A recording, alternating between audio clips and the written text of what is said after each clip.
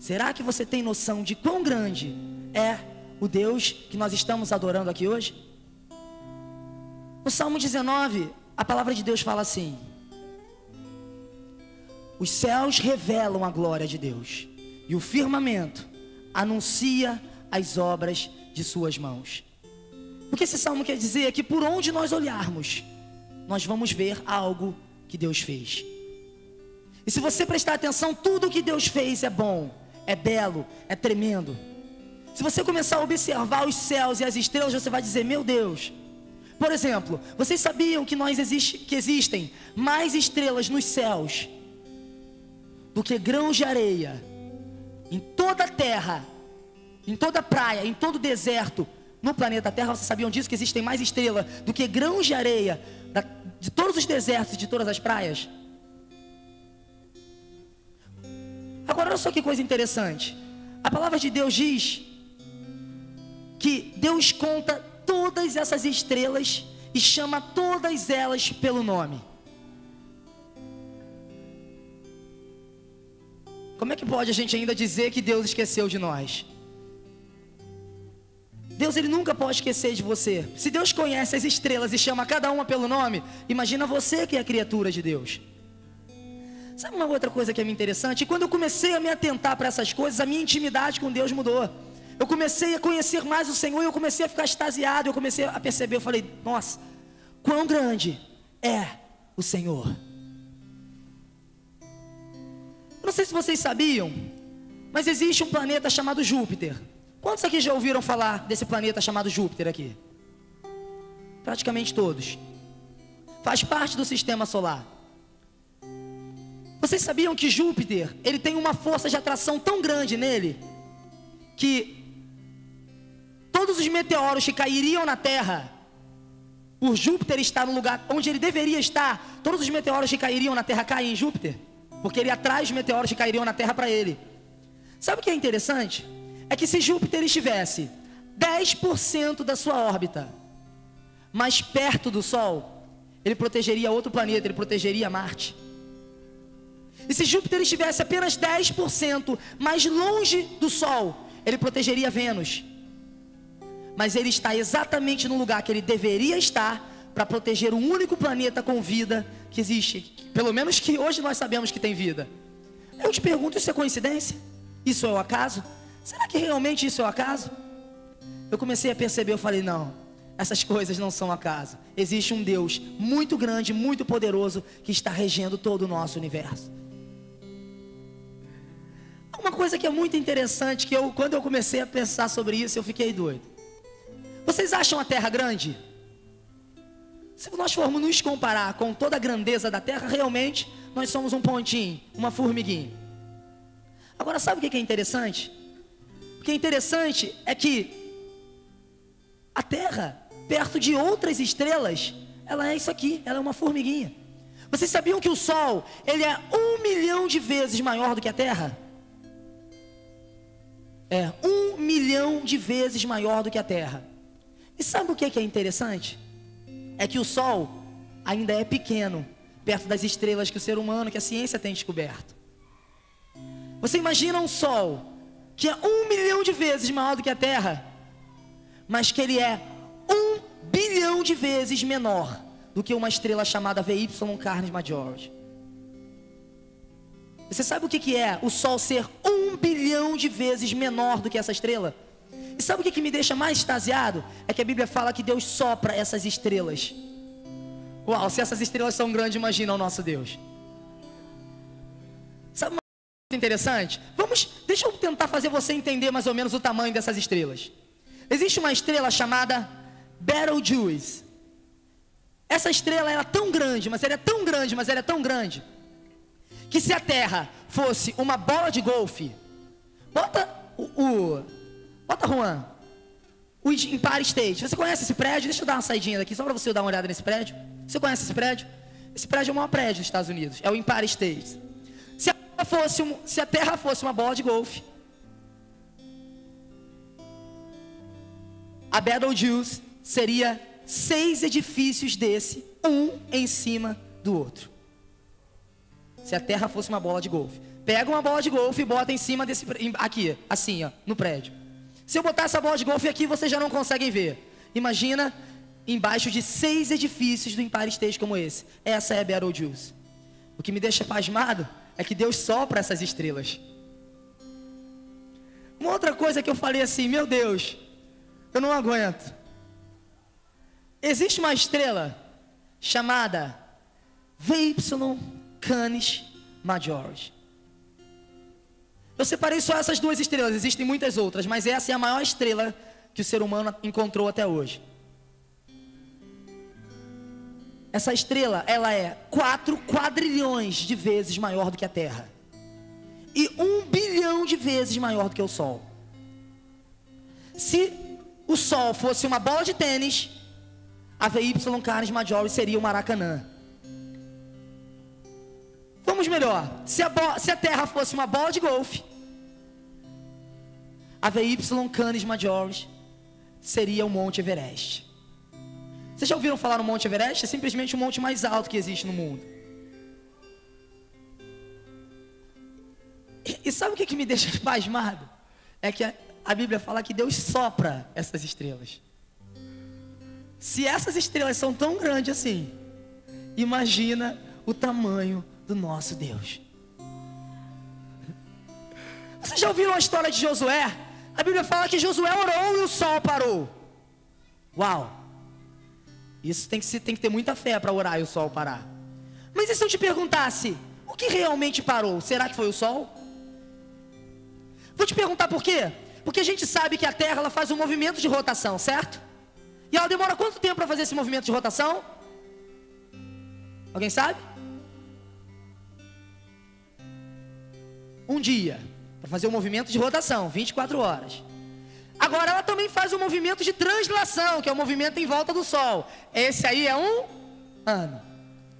Ou seja, se o Sol tivesse parado, não adiantaria nada. Por quê? O que está andando não é o Sol, é a Terra, é a Terra que está girando. Então, não foi o Sol que parou. E sabe o que é interessante? É que a Bíblia, a Bíblia não, os cientistas descobriram que a Terra, ela gira em torno do Sol e gira em torno dela mesmo. E a lua gira em torno da terra. Então a terra gira em torno do sol e a lua gira em torno da terra. Sabe o que é interessante? Aí eu te pergunto então, o que parou? Ah, João, o que parou então foi, será que foi a terra? Então, será que Deus parou a terra por causa de Josué? Vamos parar para ver. O sol está ali. A Bíblia fala que Josué pediu para que o sol parasse em Gibeon e a lua parasse em Ajalon, a leste do sol. Se fosse só a terra que tivesse parado, sabe o que seria de interessante? A lua, ela não depende da terra, porque a lua tem a sua, a sua rotação própria. Então o sol pararia, mas a lua continuaria girando e passando. Só que a Bíblia fala que o sol parou ao meio-dia e a lua parou ao leste. Ou seja, o sol e a lua estavam parados. Será que foi só a terra que parou? Sabe qual é a explicação lógica para tudo isso? É que não foi o sol, e não foi a lua, e não foi a terra que parou. Para que, antes de eu terminar de falar o que parou realmente, só colocar uma coisinha para você. Vocês sabiam que a terra está girando em torno dela, dela mesmo a 1.500 km por hora? E você não percebe, você está aqui parado, como se nada estivesse mexendo. Mas a terra está girando em torno dela 1.500 km por hora. E a gente não percebe. Olha só que coisa interessante. Melhor, você sabia que a, Terra está girando em torno do Sol a 115 mil quilômetros por hora? E a gente não percebe? Imagina se Deus decidisse frear a Terra. A gente já sentiu um salabanco grande, né? 115 mil quilômetros por hora. E a gente não percebe, para a gente a gente está parado. E você sabia que todo o sistema solar, o Sol e os outros planetas, estão girando a 900 mil quilômetros ao redor do centro da galáxia e a gente não percebe?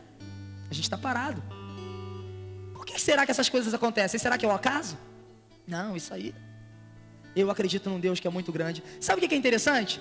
Se todas as coisas estão girando, o que parou? Para que o Sol estivesse ao meio-dia e a Terra estivesse a leste.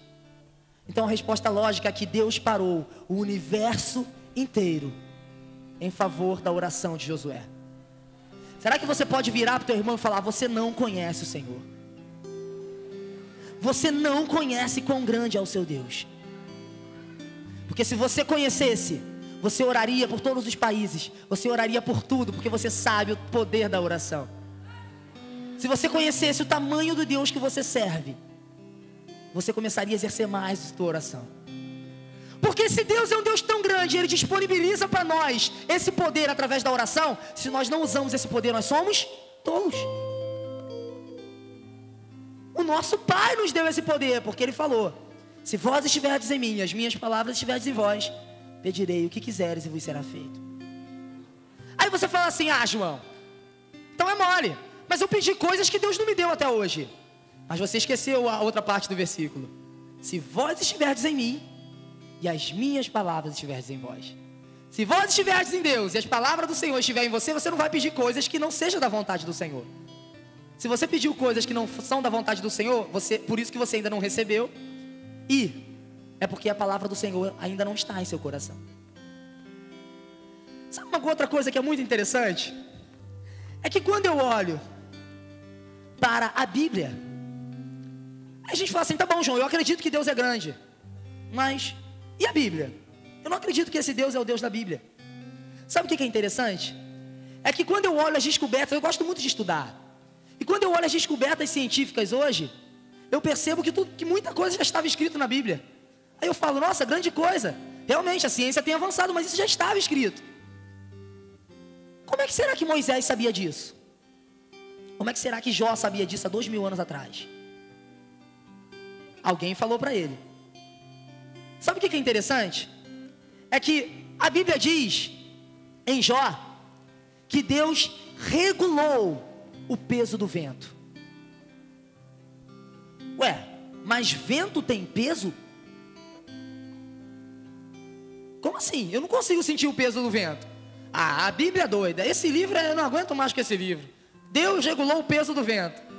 Um cientista chamado Deixa eu só dar uma lembrar o nome dele aqui. Evangelista Torricelli. Esse cientista, há pouco tempo, ele descobriu qual era o peso do vento. Aí eu falo, nossa, nossa, que, que cientista bom, realmente ele é muito bom. A ciência está avançando, a gente não pode negar. Mas quando eu vejo a grandeza do meu Deus, eu vejo que ele já sabia disso. E que ele já tinha escrito em um livro chamado Bíblia que o vento tinha peso. O homem só descobriu. Coincidência? Será que Jó acertou sem querer? Uma outra coisa interessante é que a Bíblia fala no versículo de Jó também, no capítulo de Jó, que Deus determinou um caminho para o relâmpago. Benjamin Franklin, sabe como ele inventou um para-raio? Ele descobriu que o relâmpago tinha um caminho. Ele falou assim: Sabe o que eu vou fazer então? Eu vou seguir o caminho do relâmpago. Ele criou o para-raio baseado a descoberta de que o relâmpago tinha um caminho. Agora, lá, dois mil anos atrás, o meu Deus já tinha escrito na palavra dele que o relâmpago tinha um caminho. Aí eu te pergunto, meu Deus, quão grande é esse Deus? Uma outra coisa que é interessante é que a ciência hoje descobriu que a Terra é redonda. Foi uma grande descoberta, porque o ser humano achava que a Terra era plana. Mas a ciência descobriu que a Terra é redonda. Hoje ninguém mais tem dúvida de que a Terra é redonda. Mas sabe o que é interessante? Que isso foi descoberto há pouco tempo. Mas sabe o que é muito, muito, muito interessante? Que eu fico pasmado com a grandeza desse Deus? É que em Isaías 40, muito tempo atrás, ele diz assim: ó, quem é aquele que está sentado sobre o globo da terra? Coincidência. Nossa, é tanta coincidência, é uma coincidência atrás da outra, né? Como é que Isaías sabia de tudo isso? Jó sabia de tudo isso? Moisés sabia de tudo isso? Alguém contou para eles. Agora, uma coisa que é muito interessante, que eu gosto muito. Os cientistas descobriram há pouco tempo que a criação do universo, no princípio, era tudo escuro, era tudo trevas. Ele descobriu que a primeira coisa que foi criada no universo, ou que o universo produziu, como eles dizem, é que foi uma luz. Eles dizem que a primeira coisa que foi produzida no universo foi luz. Aí quando eu olho Gênesis 1, primeiro versículo diz: No princípio criou Deus os céus e a terra. A terra era sem forma e vazia, e havia trevas sobre a face do abismo. E disse Deus: haja luz. Moisés acertou de novo, é muita coincidência. Tudo bem, vamos continuar. Aí, eu fui estudar um pouco mais sobre isso, e eu estava vendo um, um, determinado matemático chamado Peter Stone. Esse homem, ele fez, ele falou o seguinte: ó, é muita coincidência para Moisés ter acertado. Como é que ele escreveu Gênesis 1 tão certinho? E hoje a ciência está descobrindo as coisas que estão em Gênesis 1. Ele falou o seguinte: quer saber?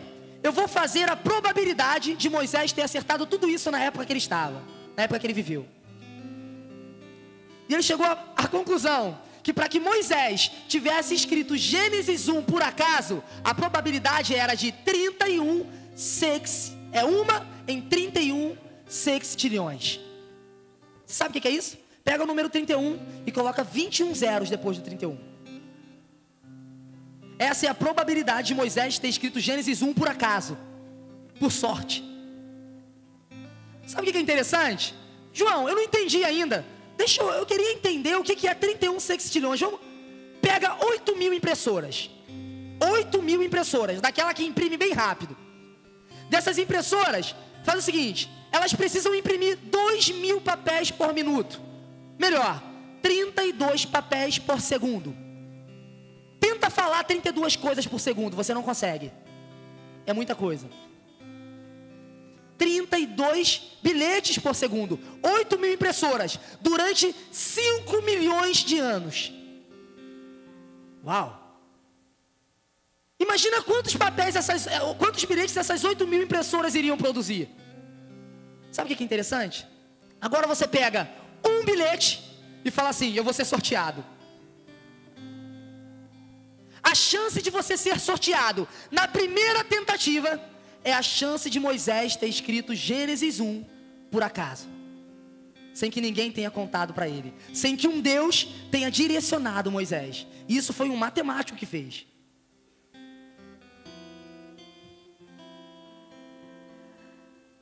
Aí eu falo assim, a ah, João, mas eu não consigo acreditar na Bíblia, porque a Bíblia é um pedaço de papel, escrito por homens.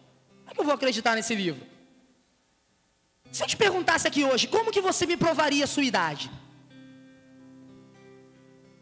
Tiago, se eu te perguntasse como que você me provaria a sua idade, você tem quantos anos, Tiago? 26? Como que você me provaria que você tem 26 anos? Certidão de nascimento.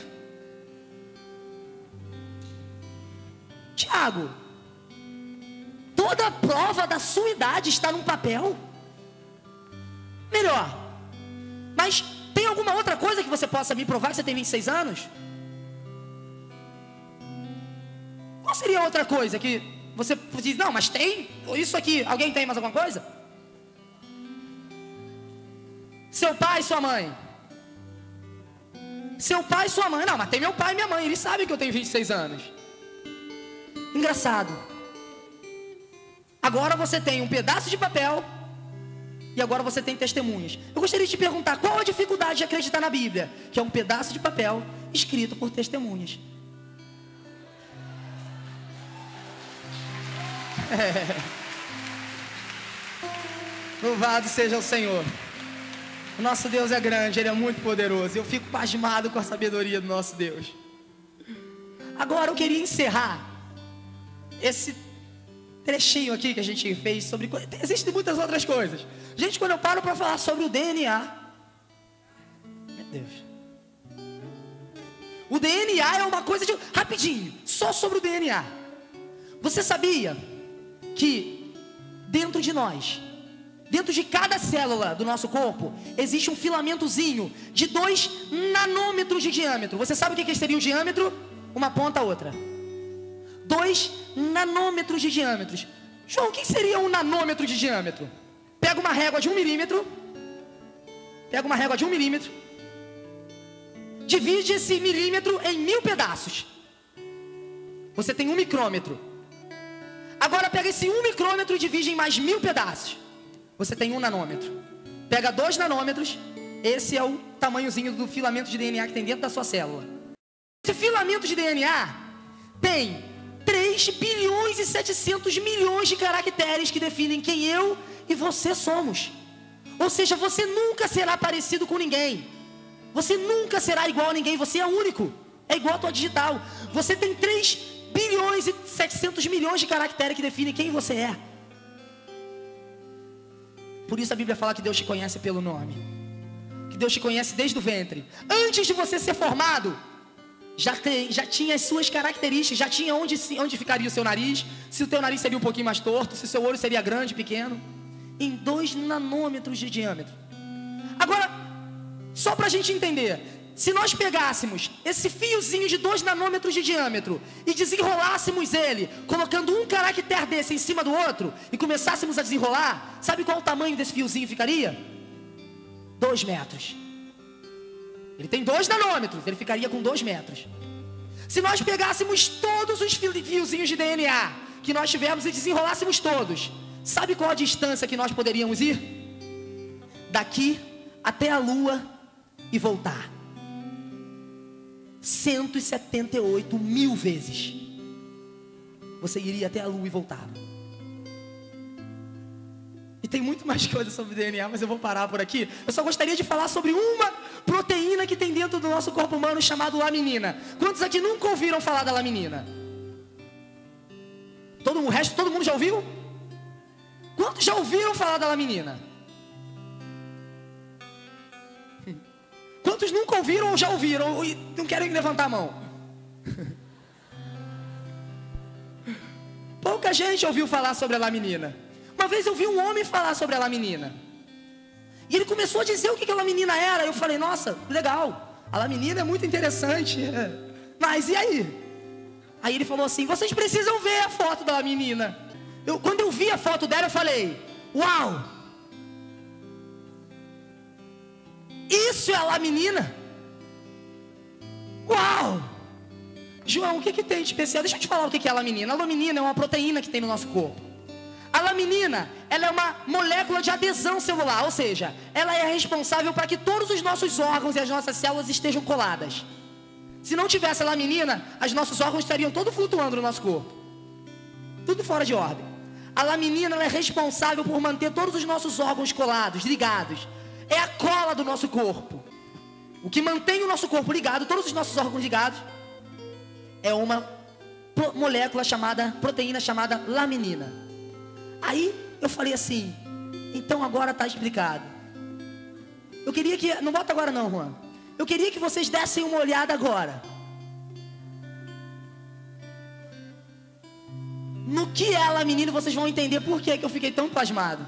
Essa é a laminina.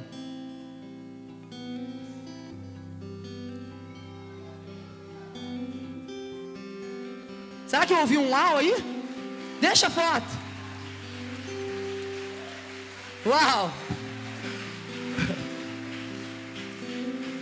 A proteína que mantém todo o nosso corpo ligado e bem estruturado tem a forma exata da cruz do nosso Senhor Jesus Cristo.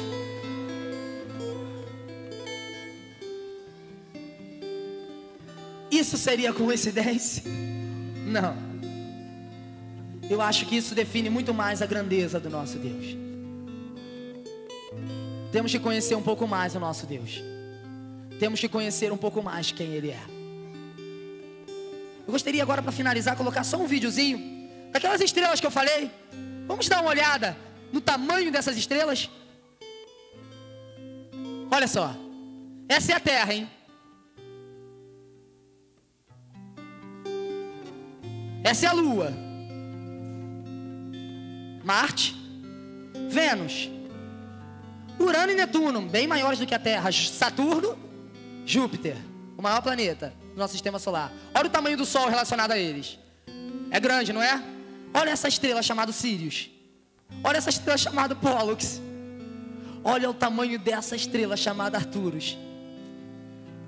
Olha o tamanho dessa estrela chamada Rigel e Adebaran. Olha o tamanho dessa. Essa é a Betelgeuse. Olha Antares. Olha Carinai. Olha Monocerote. Cassiopeai. Mucifi. Essa é a Vesifi. Essas são as irmãs Cifis. E essa, para aí, Juan, para aí. Essa é VY Canis Majores. Você quer saber o Sol do tamanho perto dela? Bota o Sol, Juan, continua o vídeo. Olha o tamanho do Sol perto dessa estrela. Pode tirar, Juan.